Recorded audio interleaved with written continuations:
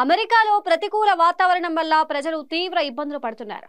మంచు గాలి వాన శీతల ఉష్ణోగ్రతలతో దేశవ్యాప్తంగా విమాన సర్వీసులతో పాటు బస్సు అన్ట్రాక్ ప్యాసింజర్ రైలు వంటి ప్రజా రవాణా సేవలకు అంతరాయం ఏర్పడుతోంది. భారీగా మంచు కురవటం ఉష్ణోగ్రతలు మైనస్ డిగ్రీలకు పడిపోవడంతో దేశవ్యాప్తంగా రెండు వేల రెండు వందల డెబ్బైకి పైగా విమానాలు రద్దు చేశారు.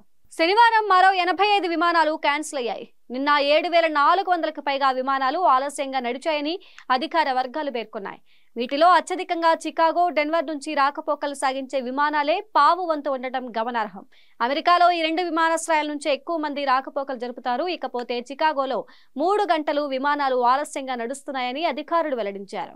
Hi this is Abhinav Please like, share, and subscribe to Hit TV. Hit TV. To Hit TV. TV to Hit TV. To Hit TV. Hit TV. TV. To Hit TV. Hit channel. Hit TV. TV. Hit TV. To Hit TV. Hit TV. Hit TV. Hit TV. Please subscribe to Hit TV.